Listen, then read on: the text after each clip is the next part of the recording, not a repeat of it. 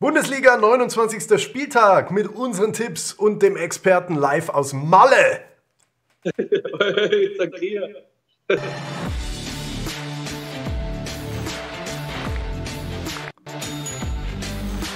Wir sind ja am Ballermann 9. Ballermann 6 ist schon ziemlich weit weg zu Fuß. Vor allem, was ich gestehen muss, wir haben uns nicht so richtig informiert, wie das Wetter ist. Das heißt, wir haben ich will jetzt nicht sagen Sommerkleidung dabei, aber wir haben auf jeden Fall nicht mal eine Jacke. Und es waren die Tage immer so 10, 12 Grad mit Regen. Da gehst du halt dann nicht mehr aus, der, aus dem Hotel raus. Hilft nichts. Die Augsburger haben das Nachholspiel gegen Mainz mit 2 zu 1 gewonnen. Big Points im Abstiegskampf. Und da stecken auch die Stuttgarter drin, die jetzt Dortmund empfangen. Und der BVB, da möchte man ja anonym bleiben als Dortmund-Fan in der Zeit nach der 1 zu 4 Schlappe gegen Leipzig. Eigentlich äh, die bestmögliche Situation für den VfB jetzt gegen Dortmund zu punkten. Aber dass die zweimal in Folge jetzt verlieren, das glaubt ja auch keiner. Nein, und man erinnert sich aber trotzdem bei Stuttgart dann noch an diesen fulminanten Sieg aus der Vorsaison. Aber ja, Dortmund, Mats Hummels hat nach dem Spiel ja gesagt, sie waren gar nicht so sehr unterlegen den Leipzigern. Man kann jetzt nicht davon sprechen, dass sie deklassiert worden sind. Die Fanszene ist ein bisschen anders. Viele Rose Rausrufe gibt es, Hickhack um Haaland. Also es passt derzeit nicht viel bei Dortmund, weswegen ich hier auch nicht auf den BVB setzen würde. Ja, vor allem, weil es bei den Stuttgarter einigermaßen läuft. Das 1-1 gegen Bielefeld ist ja auch fast ein bisschen Understatement, weil sie da viele Torschüsse und Chancen hatten und das Spiel haushoch gewinnen hätten können, aber am Ende nicht getan haben, ist ja dann so eine Sache. Also ich glaube trotzdem, sie werden zu Hause gegen Dortmund nichts reißen, aber die Dortmunder Quote ist mir zu schlecht.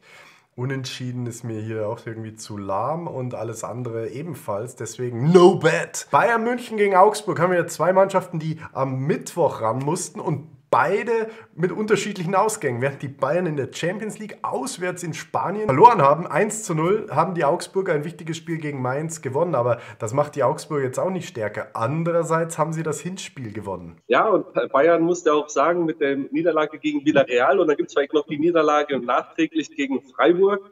Äh, auch ruppige Wochen, auch wenn sie in der Liga natürlich weit weg sind. Ich glaube aber, Augsburg wird es jetzt zu spüren bekommen, dass äh, Bayern verloren hat in der Champions League. Ich glaube, der Nagelsmann will jetzt 100% Einsatz sehen. Und auch wenn es bei Augsburg läuft, würde ich hier tatsächlich auf Asian Handicap Bayern München. Ein Handicap auf Bayern ist tendenziell keine schlechte Option, aber da hast hier eine minus 2,5. Das ist natürlich drin, wenn man die letzten Spiele gegen Freiburg, wo wir auch das Asian Handicap richtig haben, äh, gesehen hat mit vier Toren und drei Toren Unterschied, aber es ist halt eine Scheißquote für ein sehr hohes Handicap. Das äh, ist natürlich nichts, wo man sein Geld drauf setzen würde. Beide treffen 1,95. Die Augsburger sind ja anscheinend wirklich äh, ja, wieder da und treffen auch vor allem fast regelmäßig, auch gegen Bayern. Kann man spielen bei der Quote, weil es halt ein Coinflip ist eigentlich, aber ich glaube wirklich, das Spiel geht 4-0 aus. Oh. Also der Nagelsmann angefressen, zu Recht auch, nach der Niederlage jetzt. Und ich glaube, dass der seine Mannschaft da so einstellt, dass die äh, Spuren werden. Köln gegen Mainz, ja, da haben wir die Mainzer angesprochen. Wenn dieses Nachholspiel nicht gewesen wäre, hätte ich Mainz sogar hier ein bisschen mh, mm, Chancen eingerechnet. So finde ich es aber wiederum interessant, Value auf die Heimmannschaft zu gehen. Und ich sage dir auch warum. Denn die Kölner haben zwar den letzten Spieltag nicht gewonnen, aber sind eine sehr starke Heimmannschaft. Und das ähm, nämlich hier, während die Mainzer auswärts bisher wenig gerissen haben, jetzt auch sogar in Augsburg verloren haben. Doppelbelastung mit dem Spiel jetzt, also Asian Handicap 0 auf die Kölner mit 1,75. Eine richtige Drecksquote leider, aber eine gute Wette. Finde ich auch. Vor allem, was gegen Köln ein bisschen sprechen könnte, ist die Corona-Sorgen oder die, die Ausfälle von bis zu sechs Spielern, was ich gelesen habe gerade. Aber ich glaube auch Mainz auswärts kannst du vergessen und Köln sollte das nicht verlieren. Deshalb finde ich diese Wette sehr gut und du sicherst ja das potenzielle Unentschieden mit den Asian Handicap 0 ab. Mhm. Uh, unentschieden, 3,46 natürlich auch hier eine absolute Option bei zwei Mannschaften, wo du einfach eine Münze schmeißen kannst. Kräuter Fürth gegen Gladbach. Die Gladbacher natürlich hier Favorit, aber immer wenn man da denkt, ja gut, man muss ja fast gegen Fürth wetten bei so einer Quote, aber die Quote ist nicht mal besonders gut, erstens das. Und zweitens, äh, Fürth ist halt einfach zu Hause so gut wie unbesiegbar, außer es kommt halt Leipzig. Und von einem Leipzig ist ja Gladbach im Moment meilenweit entfernt.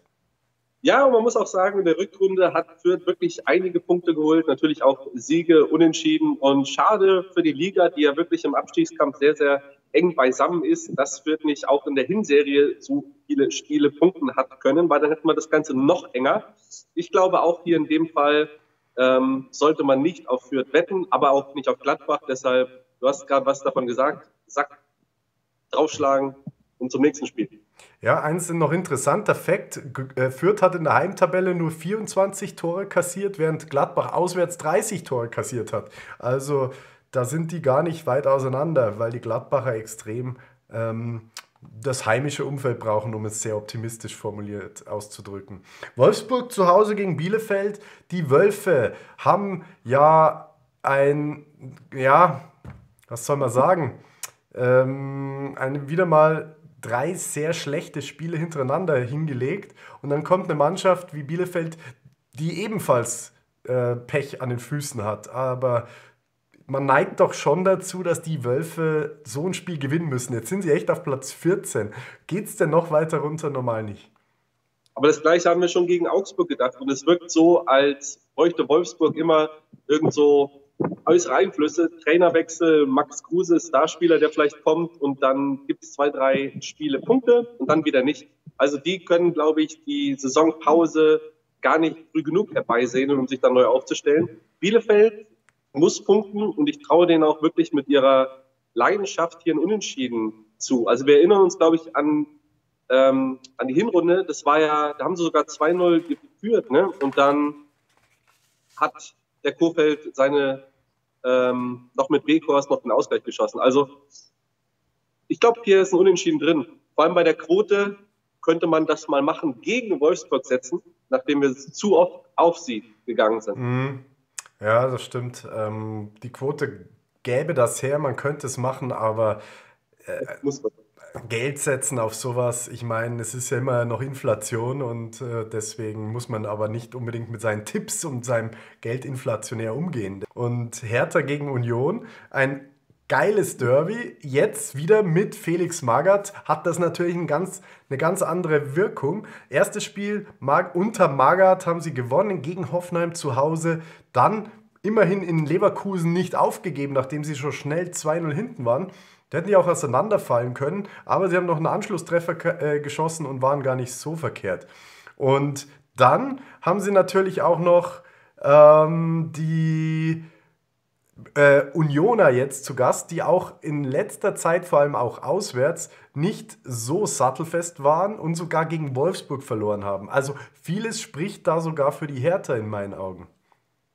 Ich finde es echt cool, wenn du hinter einem Trainer stehst, wie Felix Magath, dann redest du jetzt auch schon die Niederlagen schön und wie toll das ist, dass die Berliner sich nicht aufgegeben haben. Das ist ja, das ist ja Wahnsinn im Abstiegskampf. Sie sind aber immer noch mittendrin, statt, ja, und sollten hier punkten. Ich glaube tatsächlich, dass die Hertha auch hier gewinnt. Mhm. Und direkter Sieg auf Hertha ist natürlich mutig bei einer Quote von 2,87. Wollen wir nicht das Asian Handicap 0 mit 1,94, weil es ist, das Derby hat ja natürlich seine eigenen Gesetze. Dann haben wir hier doch eine schöne Wette. Dann Bochum gegen Leverkusen, die gerade angesprochenen Leverkusen haben ja 2-1 gegen Hertha gewonnen. Aber auch der VfL mit einer starken Leistung, die man ihnen zu dem Zeitpunkt nicht unbedingt so zugetraut hätte, in Hoffenheim mit 2-1 zu gewinnen. Hut ab, freut uns wieder mal sehr. Asano, super mit Doppelpack, hätte sogar ein drittes noch geschossen, das dann nicht gezählt hat. Und äh, jetzt spielen sie zu Hause gegen Leverkusen. Geht da was? Also chancenlos sind sie definitiv nicht, weil sie ja auch schon die Bayern zu Hause weggeschickt haben. Ist hier auch eine Quotenfrage, Radek, ne? auch mit den Asian Handicaps, wenn wir da mal schauen. Auf jeden Fall, egal wie das Spiel ausgeht, wenn Bochum drin bleibt und danach sieht es ja wirklich aus in der Liga, dann sollten die den Trainer des Jahres stellen, die Mannschaft des Jahres. ja, das übertreibt man nicht. Äh, most Improved, was weiß ich, was es für Awards gibt. Aber noch ist die Saison nicht vorbei und Leverkusen ist ein undankbarer Gegner. Ich erwarte hier viele Tore. Hat einer mal wieder unser Ortspedia-Video auf Englisch gesehen? Denn genau over three goals war da meine Wette auf Bochum versus Leverkusen. Frankfurt gegen Freiburg.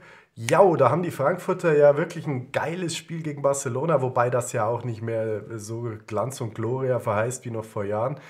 Aber immerhin mal ein richtig krasses Europacup-Spiel, wo die Frankfurter ähm, natürlich ihre Gedanken haben und dann geht es in der Liga gegen Freiburg. Lass die mal gegen Barcelona gewinnen, äh, dann ist da gegen Freiburg wahrscheinlich ein bisschen lockeres Spiel angesagt und außerdem haben sie in der Liga zuletzt ja auch ähm, zwei unentschiedene Folge gehabt. Also so 100 Pro bin ich von den Frankfurter nicht überzeugt, aber von Freiburg, trotz der Niederlage gegen die Bayern, kann man natürlich auch schwärmen. Wenn du die Bochumer schon so hypst, dann kann man das gleiche auch mit Freiburg tun. Deswegen sehe ich die definitiv hier nicht chancenlos. Asian Handicap plus 0,25 auf Freiburg. Würde ich auch in diesem Fall machen, vor allem die Ambitionen sind ja offensichtlich, dass sie ins internationale Geschäft wollen, sonst hätten sie ja mit Sicherheit nicht den Protest gegen äh, den Wechselfehler der Bayern eingelegt. Das ist interessant und dementsprechend glaube ich auch, dass sie die Chance nutzen werden, dass die Doppelbelastung, auch vor allem die mentale bei Frankfurt, dazu führen wird, dass die nicht bei 100 Prozent dabei sind, sondern vielleicht 80, 90 Prozent, je nach Kraft halt. Und deshalb könnte und sollte Freiburg hier definitiv punkten.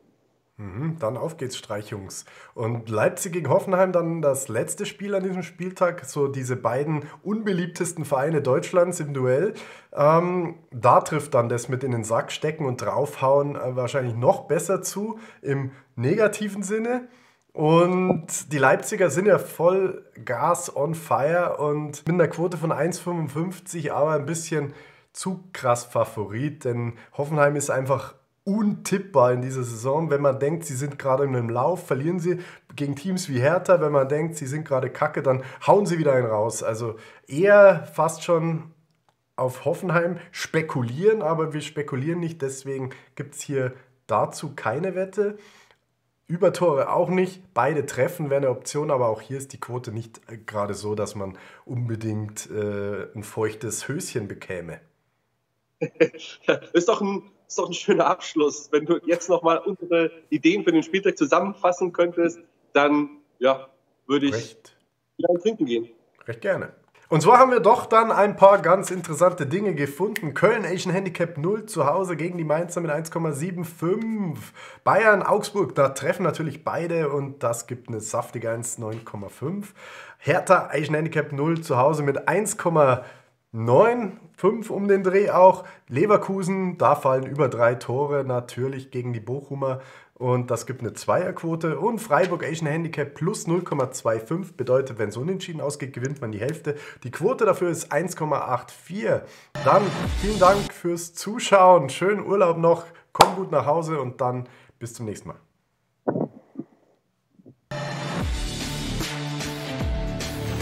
Jetzt gehen wir erstmal Safa, oder? ¿Vale?